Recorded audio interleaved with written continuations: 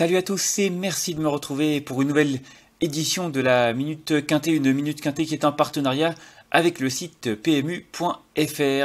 Alors ce mardi 12 euh, juillet, euh, direction l'hippodrome de Chantilly, hein, ce sera avec euh, donc les galopeurs, une réunion assez intéressante et la huitième course du programme, le prix Le Roi, le, prix le Roi Soleil pardon, sera support de Quintet Plus. Il s'agit d'un handicap qui va se disputer sur 1200 mètres comme vous le voyez, la ligne droite du gazon cantilien qui sera emprunté par les différents concurrents. Ils seront 16 au départ, voilà des poulains et des pouliches qui ont montré déjà des moyens à ce niveau de compétition, une course quand même assez ouverte, puisque certains euh, n'ont euh, jamais couru euh, sur ce tracé ou sur des, pistes de ce genre en, ligne droite. Donc ça, peut, ça peut créer des surprises. En tout cas, on va faire une étude de ce quintet plus. On va rentrer dans le vif du sujet avec l'As cours du roi que j'ai retenu en tête tout simplement parce que c'est vraiment un concurrent qui a montré de la qualité à ce niveau de compétition. Il a remporté son quintet le 12 mai dernier. C'était sur l'hippodrome de Paris-Longchamp 1300 mètres.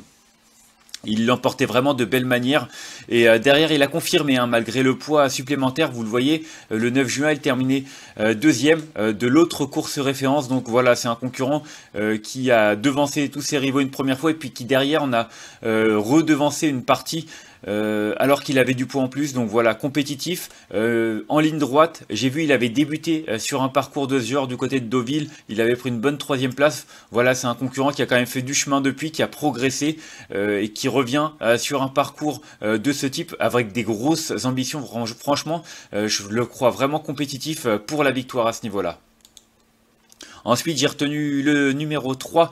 Il s'agit de Montuissant.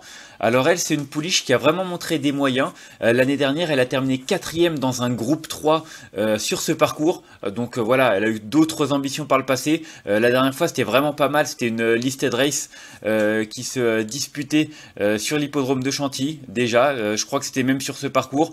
une concurrente non, je sais pas si c'était sur ce parcours en tout cas. Euh, c'était déjà à, Chantilly, euh, cinquième avec Christiane Demuro, et c'était vraiment une belle impression euh, visuelle. Hein. Elle n'avait pas forcément eu pleinement les coups des franches pour s'exprimer. Voilà, c'est son premier handicap. On fait appel à Christophe Soumillon. je pense vraiment qu'à cette valeur, elle est compétitive et avant le coup, je lui vois une première chance également. Ensuite, euh, j'ai retenu le numéro 10, euh, Régalien. rien à lui reprocher, il a fait euh, quatrième la dernière fois de la course référence. Il avait terminé déjà deuxième, hein, le prix de Marly, la première course clé, derrière Cours du Roi. C'est un concurrent qui a déjà couru sur ce parcours et qui a déjà bien fait. Euh, c'est un avantage. Euh, il est euh, compétitif à cette valeur comme il l'a prouvé les deux dernières fois. C'est un des concurrents qui a quand même le plus d'expérience, hein, même si c'est un, un, mâle de 3 ans, un poulain de 3 ans. je pense vraiment qu'il a une belle carte à jouer, d'autant que c'est un cheval qui part vite. ça, c'est un avantage sur ce parcours. En général, il est rapidement dans le groupe de tête. Et avant le coup, je pense qu'il est capable d'aller très loin. je l'ai retenu troisième, mais s'il faisait mieux, ça ne m'étonnerait pas. Je pense que c'est un concurrent qui va certainement remporter son handicap cette année. Ensuite, euh, j'ai retenu en quatrième position le numéro 2, euh, Miko Léo. Lui avait terminé cinquième hein, de la première course référence le 12 mai, comme vous le voyez, euh, avec Christiane Demuro, qui lui sera une nouvelle fois associé. depuis, il a peaufiné sa forme dans une course à condition, en terminant deuxième. C'était la première fois qu'il portait les œillères. Son entraîneur a décidé de lui remettre cet artifice. je pense que ça peut l'aider dans sa tâche. Il peut faire mieux que, que cinquième lorsqu'il avait terminé dans la course référence euh, à cette place. Et euh, pourquoi pas, je l'ai retenu en quatrième position. C'est vraiment un outsider qui me plaît tout particulièrement. Ensuite, en cinquième position, j'ai retenu le numéro 9, Jovial Béré. Elle également avait bien couru hein, dans l'une des courses références. Euh, elle terminait septième avec Marie Vélon. Vous le voyez, elle était à 7 euros. Elle était proposée à 7 contre 1. Et euh, elle courait bien. Elle n'avait pas forcément eu pleinement le passage, elle aussi, pour s'exprimer. Euh, c'est vrai que c'était un lot assez touffu sur ce parcours de 1300 mètres sur l'hippodrome de Longchamp. maintenant, je trouve qu'elle a une belle carte à jouer. Elle vient de peaufiner sa condition dans le sud de la France. Elle a terminé deuxième sur l'hippodrome de Marseille-Vivo. donc voilà, une concurrente qui est en forme. Euh, qui sera cette fois-ci confié à Antonio Orani. Euh, moi, je l'aime beaucoup. Je pense vraiment que c'est une pouliche qui a une belle carte à jouer euh, à cette valeur et sur un, parcours de ce genre. Donc, attention à cette Jovial Béré qui, je pense, est capable de jouer vraiment le rôle de trouble fête. Ensuite, en sixième position, j'ai retenu le numéro 7, Thierry euh, difficile de, situer euh, cette pouliche entraînée par Yann Barbero maintenant. Elle a quand même dévoilé un potentiel intéressant. Hein. Euh, elle a couru que trois fois, mais elle a tout, le temps terminé dans les trois, dans les quatre premières, pardon. Donc voilà, une, une pouliche qui a l'air d'avoir pas mal de moyens. Voilà, la dernière fois, c'était une quatrième place dans une épreuve disputée sur l'hippodrome de Longchamp. Elle battait notamment un Sun des Best. je pense qu'elle a une, elle, elle, également, les moyens de bien faire, je pense, dans cette catégorie. Euh, attention, numéro 5 dans les stalles de départ, Olivier Pelliancel. Pourquoi pas? Je trouve vraiment euh, qu'elle a un profil euh, d'outsider assez séduisant dans cette épreuve. Ensuite, en septième position, j'ai retenu le numéro 11, Il Sonio. Rien à lui reprocher à ce poulain de 3 ans. Vous le voyez, il est ultra régulier, toujours dans les 5 premiers. Il a déjà couru à ce niveau-là. Regardez, il avait terminé 4ème le, 12 mai dernier dans la première course référence avant de terminer 5ème euh, la fois suivante euh, dans la seconde. Voilà, euh, je pense que c'est encore un cheval qui va faire sa course. Rosario Mondion le connaît parfaitement. Numéro 7 dans les stalles de départ, non, avant le coup. voilà, il va faire sa course comme j'ai dit et il devrait faire, une 4-5ème place si ça se passe bien. Et enfin, en, fin de combinaison, euh, j'ai tenté le numéro 8, Haider. Euh, c'est une concurrente qui reste sur deux victoires au niveau des handicaps. C'était dans le sud de la France. Hein. donc euh, là, elle monte de catégorie. Et surtout, elle tente sa chance en région parisienne. Voilà, Guillaumier qui fait le déplacement uniquement pour cette pouliche pourquoi pas Je me dis euh, qu'elle a peut-être encore un petit peu de marge. Et euh, si son entourage effectue le déplacement, c'est certainement avec quelques ambitions. Donc en fin de combinaison, euh, je pense que ce sera un petit coup de cœur, un petit outsider qui peut surprendre agréablement.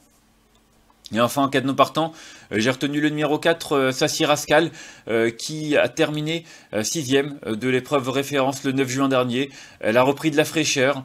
voilà, elle a prouvé qu'elle avait une petite marge à ce niveau-là. Donc pourquoi pas pour une petite place, moi ce sera un regret, mais si vous faites des champs réduits, n'hésitez pas à la glisser euh, dans euh, vos combinaisons. On va faire un petit récapitulatif euh, de ma sélection avec l'As, le 3, le 10, le 2, le 9, le 7, le 11 et le 8 et en cas euh, de non partant, le numéro 4. Voilà, vous savez tout, ce sera donc en réunion 1 sur l'hippodrome de Chantilly, la dernière course du programme prévue à 18h qui sera support euh, de Quintet Plus. Vous le savez, nous sommes en partenariat avec le site PMU.fr. Euh, à chaque ouverture de compte, toute nouvelle ouverture de compte peut vous rapporter jusqu'à 200 euros avec votre premier dépôt qui est doublé. Donc voilà, si vous voulez profiter de cette offre, n'hésitez pas à cliquer sur l'un des nombreux liens qui se trouvent sur notre site turf-fr.com ou alors tout simplement euh, vous pouvez profiter euh, de, des différents boutons pour vous connecter à votre compte déjà existant.